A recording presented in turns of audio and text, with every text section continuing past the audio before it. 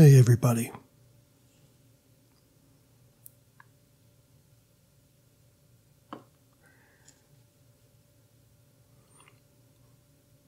I want to show you something.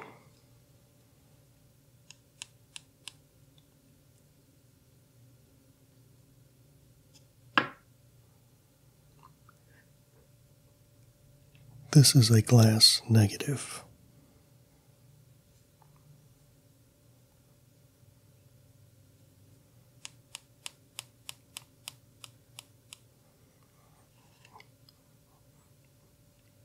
I'm not sure how old it is, but I do know that this type of glass negative was used predominantly from 1870 up until the late 1930s.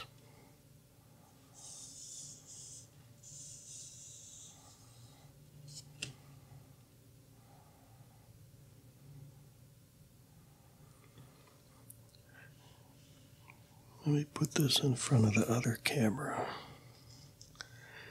to get a little bit closer look at it.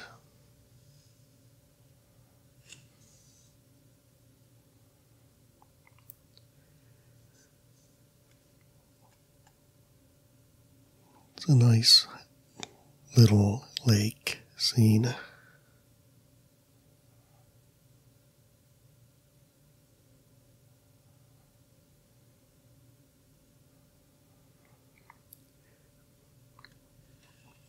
I think there's a couple of different types of uh, glass negatives. One is a wet plate type, and the and one is a dry plate, and this is of the dry plate variety.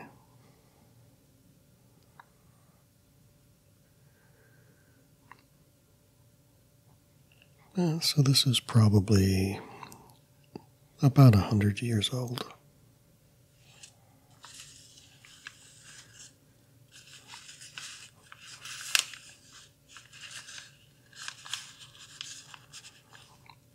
Many of you may have never seen a glass negative.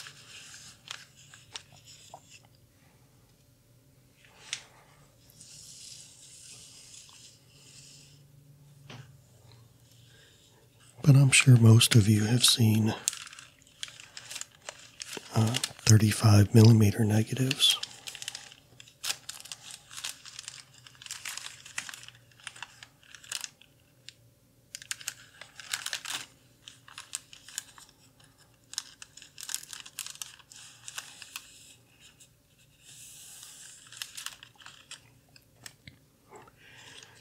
Thirty-five millimeter has been around since about the nineteen twenties. I think uh, the camera company Leica or Leica was uh, about the first company to use 35 millimeter, I believe.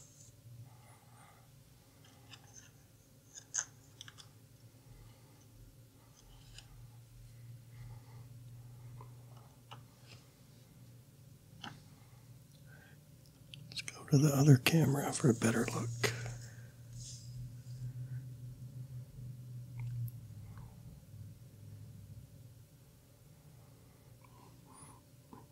Now then, it's a negative image. In real life, everything that is dark would be light, and everything that is light would be dark. That's why they call it a negative, I guess. That's my dog.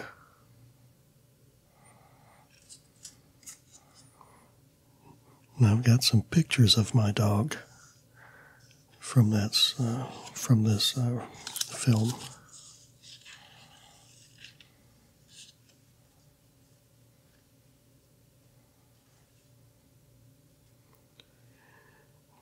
This film was black and white.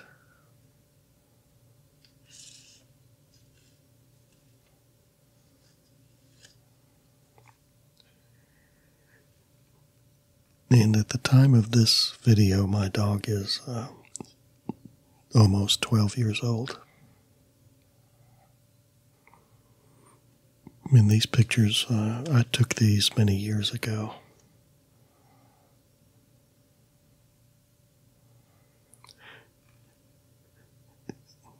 These days, my best friend is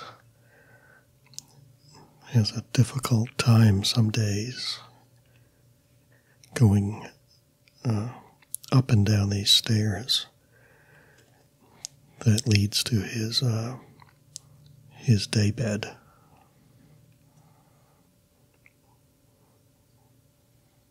And his daybed is in front of a a large window.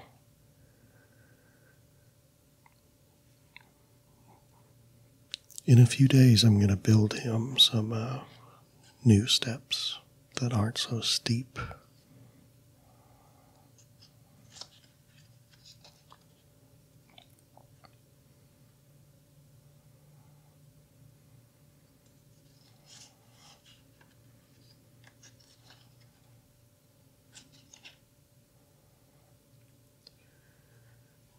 Yep, that's my little buddy.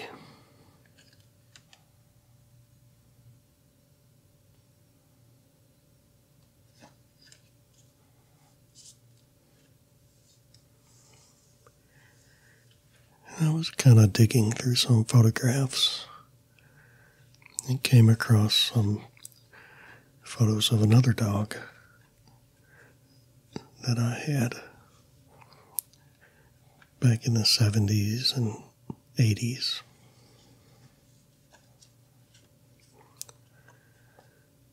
And this is her.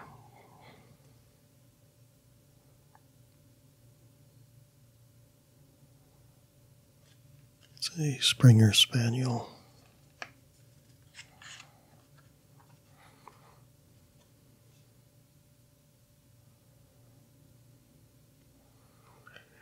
Looks like she pulled an all nighter with those red eyes.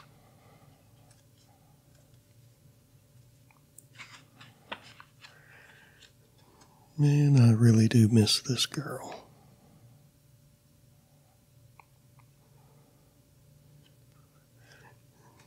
And she was a good friend.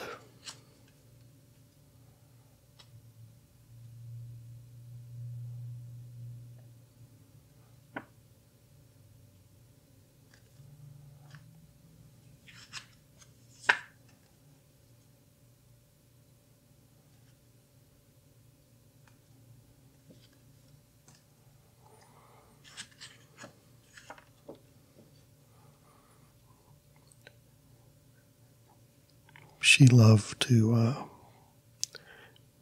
roll around in the cow manure that these cows produced.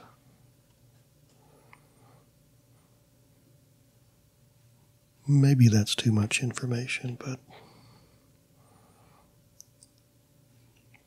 I had to tell you.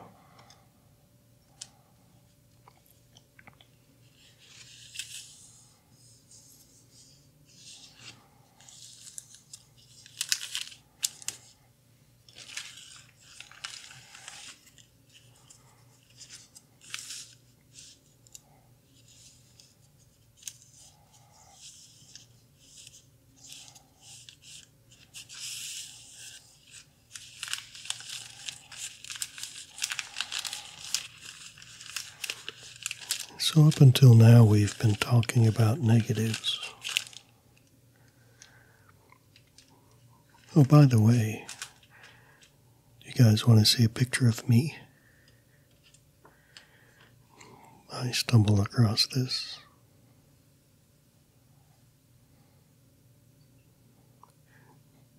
I'm sorry I cannot show you my face, but there I am. Now this is a uh, an older photograph, so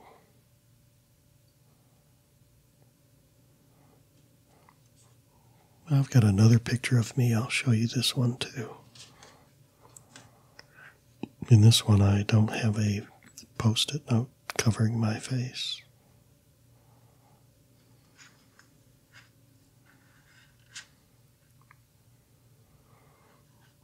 I'm on a uh, a motorcycle. I'm going down a rather steep hill.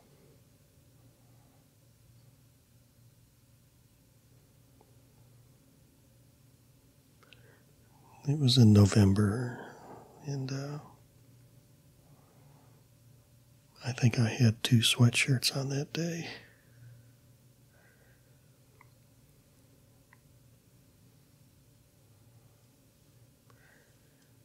And if you're wondering what kind of motorcycle, it's a uh, what was that? It was a Suzuki RM 125 um, motocross bike.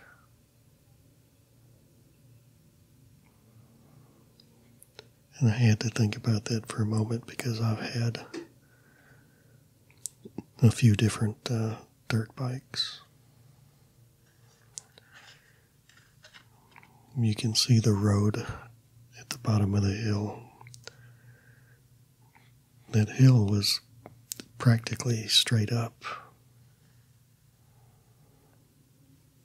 Going down it, you felt like you was gonna just roll right over the handlebars and possibly get ran over by your own motorcycle.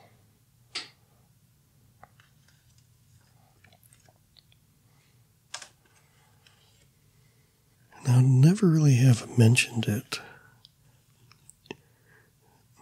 but I have a 35 millimeter slide collection. I've got a few thousand slides. And a slide is kind of like a negative, except a slide is actually a positive.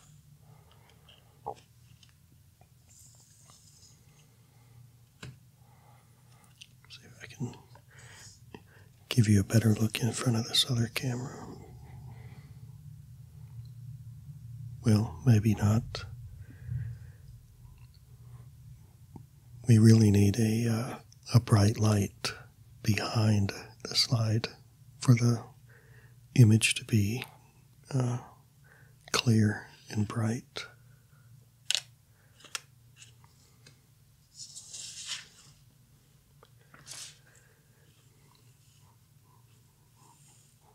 And that's where this device comes in handy.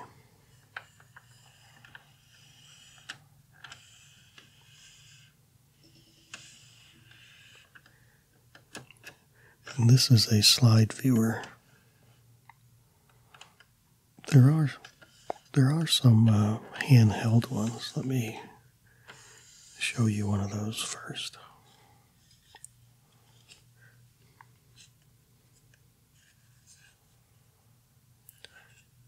This is a handheld one. When you push the button, the light comes on. So you put the slide into it like this and push the button and the light comes on.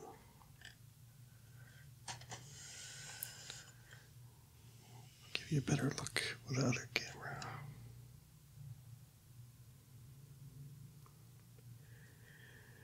I took that photograph in the hospital room the day my son was born.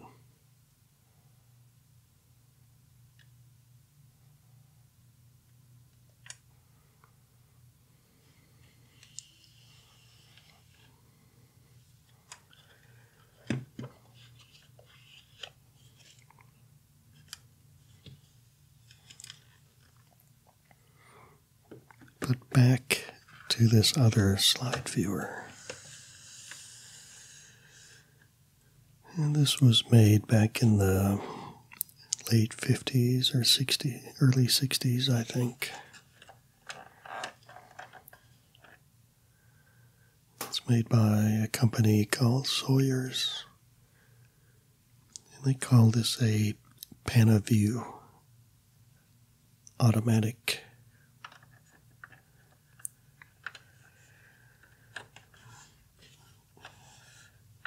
It has two trays.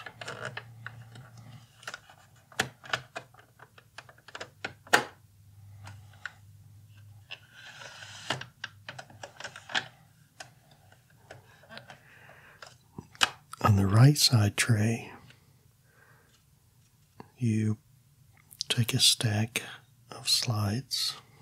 I've got a stack of slides right here.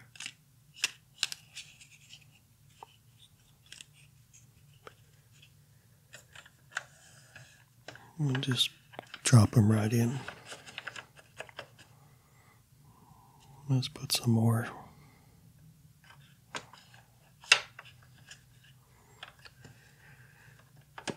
Now, there's a push bar. And when you pull it out the way I just did, the screen lights up. Now, when I push the bar, it loads a slide uh, onto the screen.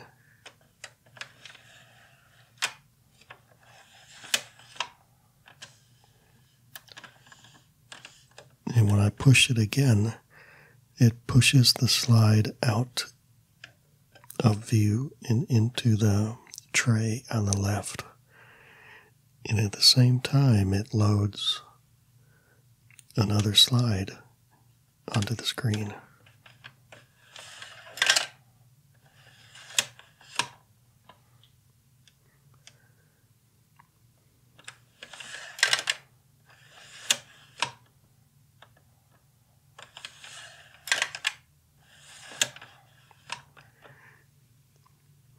So I think you get the picture.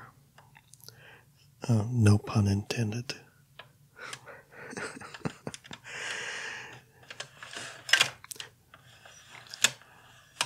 So I'm going to readjust the camera so that you can get a better view of what I'm looking at. Mm, That's better.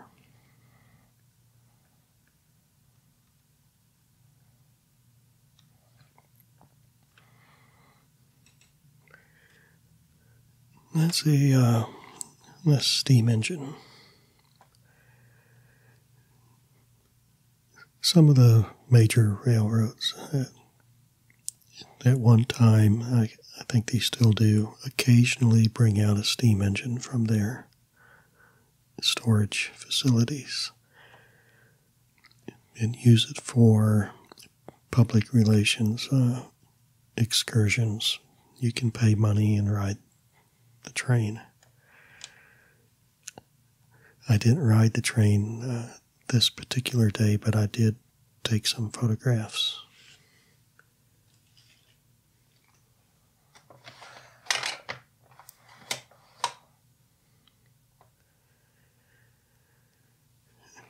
I don't know whose dog that is, but it's not mine.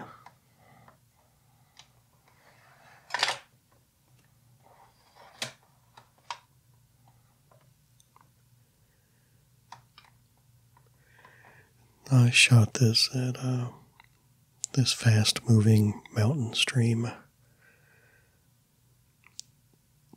up in the hills of Tennessee. You can see my model sitting on the rocks at the bottom right of the photo.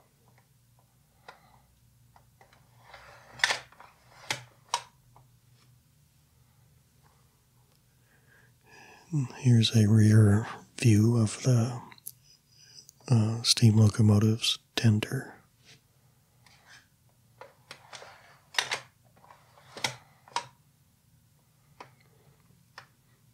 And there's the engineer inside the cab.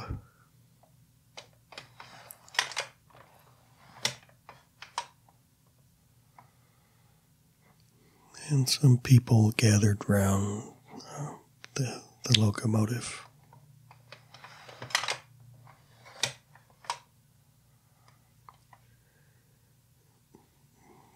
Man, he's uh, checking out the locomotive before the before the run, oiling it.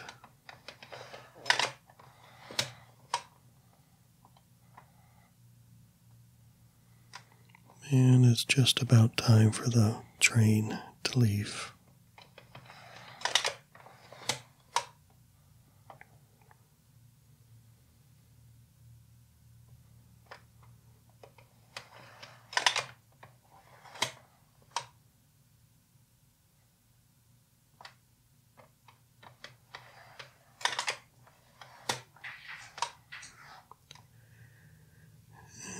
Here's some hot air balloons. I kind of like the color and the contrast.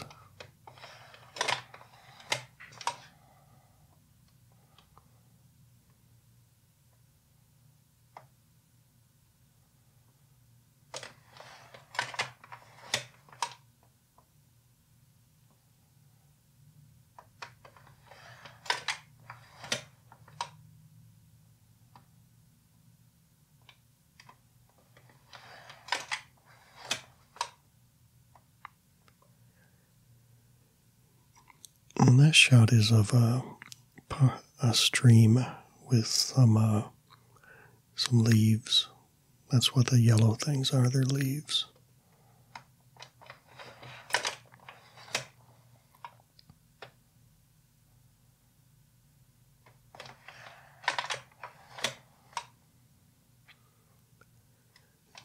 And there's that rose that that was in the room with my wife and newborn son.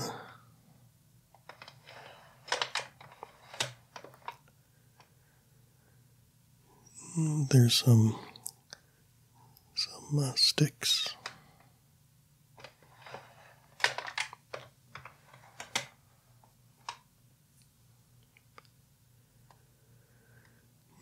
This was taken uh, in Tennessee, maybe Georgia, I'm not sure.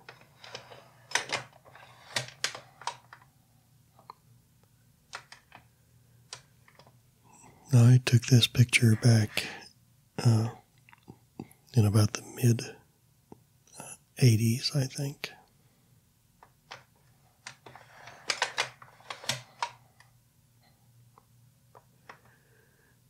There's an old uh, diesel electric locomotive.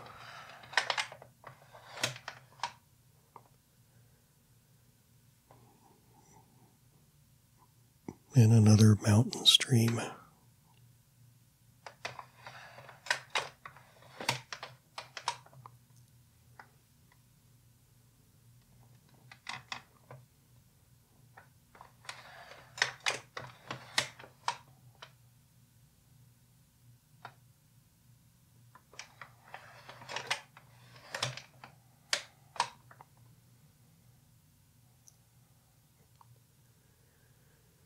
Here's one of the family cars.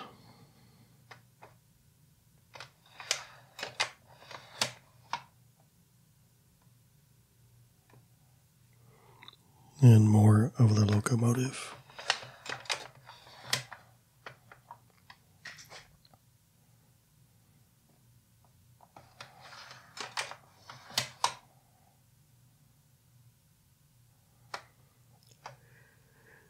And the locomotive is kind of like a fire breathing monster with the steam coming out of each side. It really does seem to be alive.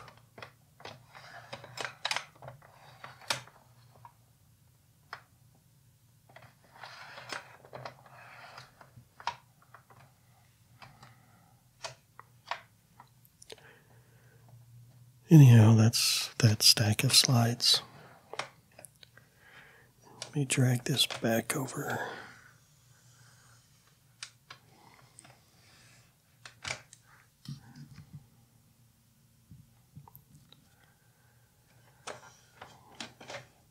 Uh, and now I've got the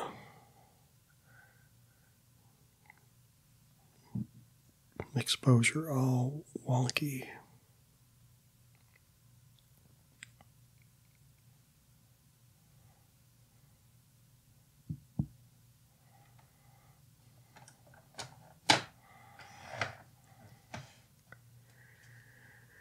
So, anyhow, as I mentioned, I do have a lot of slides.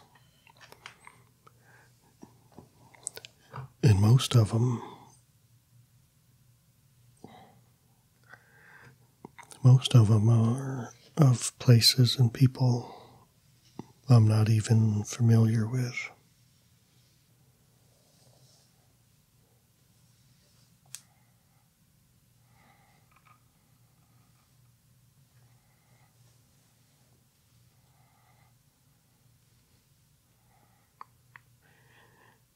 You remember the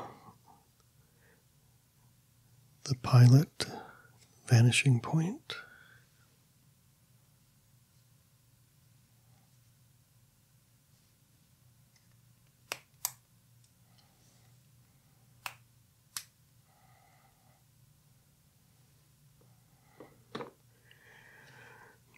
Now, the reason why so many of my slides in my collection are of people I don't know is because I purchased the slides at like uh, garage sales. You ask, why do I do that? Well, it's mainly because I I just like slides, especially older slides. And they're kind of like time capsules.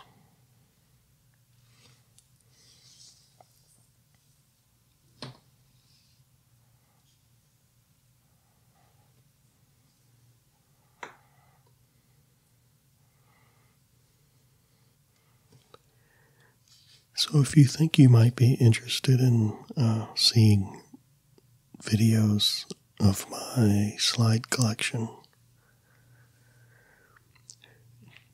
please tell me in the comments so that I can accommodate you.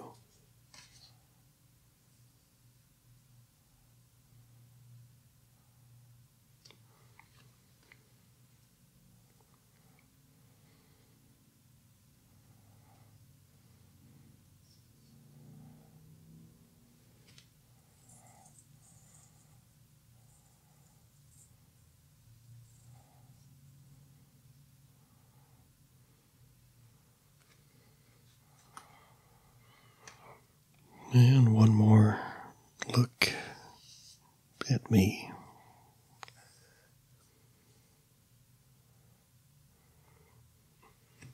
Even though I was younger back then.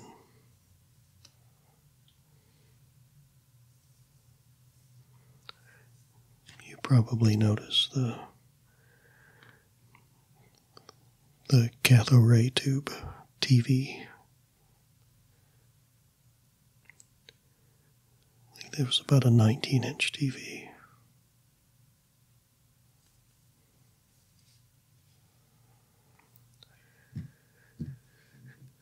So, anyway, tell me in the comments if you want to see more slides.